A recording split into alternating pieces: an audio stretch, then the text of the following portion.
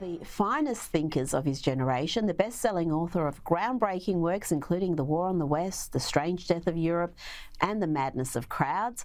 Douglas Murray, we have a lot to discuss today from the tyranny of the minority to sleeping beauty. But let's start with another Trump indictment, this time in Georgia. We have spoken in recent months about the dangers of the Justice Department becoming weaponized to attack a political candidate. And we've seen this in the justice system over and over again, what are considered by many to be bogus charges. And I think this week's developments help explain why only two in 10 Americans have a great deal of confidence in the US Justice Department. And among Republicans, Douglas, the figure is even less.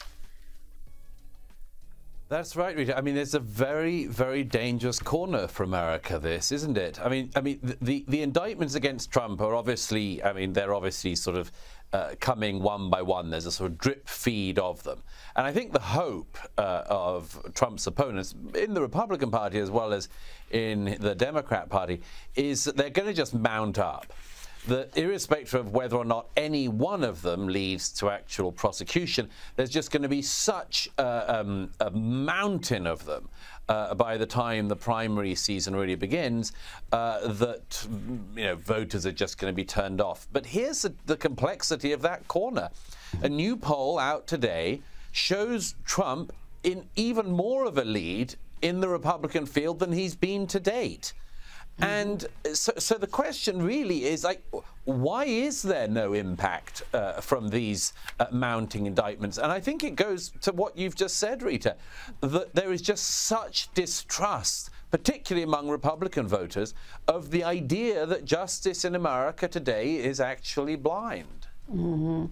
Well, I think uh, we saw that uh, early on with the very first indictment with the, those FBI raids over the uh, the documents, uh, because at that time DeSantis and Trump were neck and neck.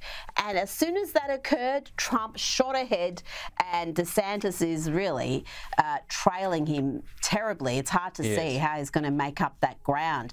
Now, let's remind folk of who the foreperson of that special grand jury in Georgia was. But honestly, I kind of wanted to subpoena the former president because I got to swear everybody in.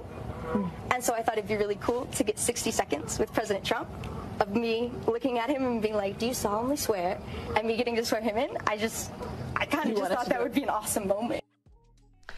Oh dear, that was Emily Kohrs, the uh, Georgia grand jury foreperson. Now, moving along to another presidential candidate, another outsider, Vivek Ramaswamy, who gave a masterclass in how to handle the LGBTQIA lobby. Here he is confronted by a pansexual reporter.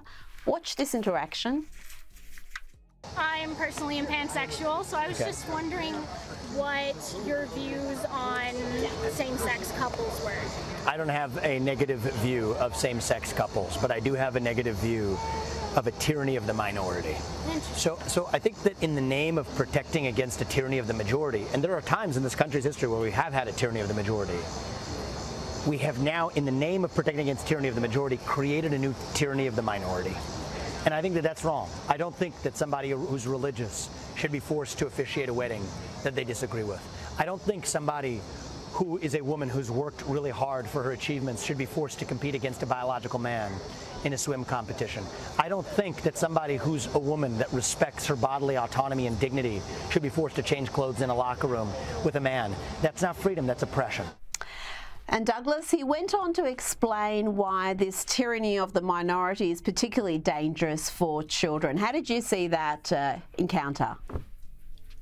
I thought it was fascinating, Rita. Firstly, because uh, this uh, per this uh, person says, woman saying, "I'm a pansexual." She's probably used to that making people bow down to her as a sort of goddess Gaia-like figure. You know, oh, pansexual. Oh, how interesting you must be. Oh my. And of course, she's also used to the fact that really saying that at the opening is a type of way to try to make the person who is your interlocutor into your hostage. I'm a pansexual. You know, what have you got to say about that? And you're, you're, she's hoping that the politicians are going to go, uh, uh, uh, uh, uh, I can't believe you love everything, like uh, want to have sex with trees, whatever, pansexuals means this week. Uh, sure. They just hope that it's going to make them into a hostage. And Vivek Ramaswamy is far too clever for that. I know him, I've done events with him, I've spoken with him. On many occasions, he's very smart. And what he did there was expert, in my opinion expert in making sure he wasn't taken hostage by this clear political activist.